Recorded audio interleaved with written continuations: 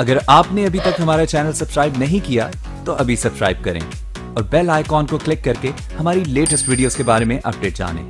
Subscribe कीजिए और हम आपको लिए चलेंगे आपकी फेवरेट वीडियो की तरफ़। सेलू, दहेगाव येथील एकोणीस वर्षीय तरुणी शुभांगी उईके हिच्यावर एकोणीस मार्च रोजी अज्ञात चार ते पाच जणांनी सामूहिक बलात्कार करून तिची हत्या केली. तिचा मृतदेह छपकी शिवारात आढळून आला होता. मात्र पोलिसांनी अद्यापर्यंत एकाही आरोपीवर कारवाई केली नाही. त्यामुळे या प्रकरणाशी संबंधित गुन्हेगारांना तात्काळ अटक करून त्यांची सीबीआय चौकशी करून त्यांना फाशीची शिक्षा देण्यात यावी अशी मागणी बिरसा ब्रिगेडचे राज्य कार्याध्यक्ष डॉक्टर अरविंद कुडमेथे यांनी केली. एकोणीस मार्च रोजी शुभांगी पिलाजी उईके ही तरुणी आपल्या मैत्रिणीच्या साक्षगंधासाठी सेलू तालुक्यातील तुळजापूर येथे गेली होती. मात्र उशिरापर्यंत घरी परतलीच नसल्याने तिच्या नातेवाईकांनी शोधाशोध केली. मात्र सायंकाळी छपकी शिवारातील रेल्वे फाट्याजवळ शुभांगीचा मृतदेह छिन्न विछिन्न आणि निर्वस्त्र अवस्थेत आढळून आला.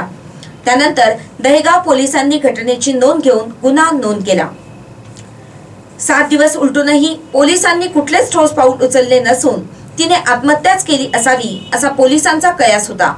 मात्र शुभांगीचा अज्ञात मारेकरांनी सामूहिक बलात्कार करून तिची हत्या करण्यात आली असा आरोप बिरसा ब्रिगेडने केला. या प्रकरणात गांभीर्याने लक्ष घालून सीबीआय चौकशी करून संबंधित आरोपींना अटक करून फाशीची शिक्षा देण्यात यावी.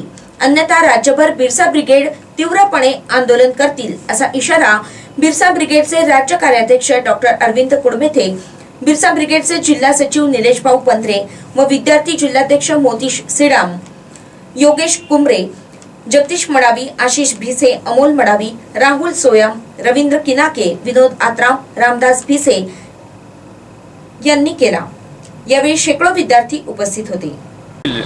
शुभांगी उईके एकोणीस वर्ष वय असलेल्या मुलीवर एकोणीस तारखेला काही नराधमांनी अमानुषपणे बलात्कार करून सामूहिक बलात्कार करून त्या मुलीची अतिशय छिन्नभिन्न अशा अवस्थेमध्ये हत्या करून रेल्वे ट्रॅकवर फेकून दिलं आहे आणि ही घटना एकोणीस तारखेला झाल्यानंतरही अजूनही कुठल्याही प्रशासनानं पोलीस प्रशासनानं याची दखल घेतलेली नाही. कुठेही या संबंधात कारवाई करण्यात आलेली नाही.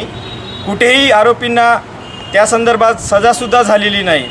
म्हणून आम्ही बिरसा ब्रिगेडच्या वतीने पूर्ण महाराष्ट्रामध्ये या घटनेचा निषेध करतो आहे